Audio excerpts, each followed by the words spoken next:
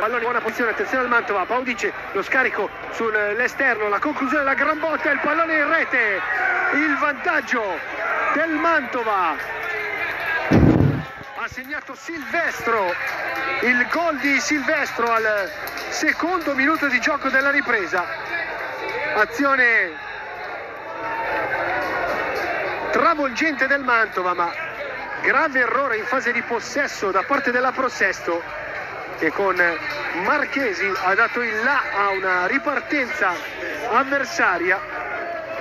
E alla prima vera occasione della partita il Mantova è passato in vantaggio con la gran conclusione di Silvestro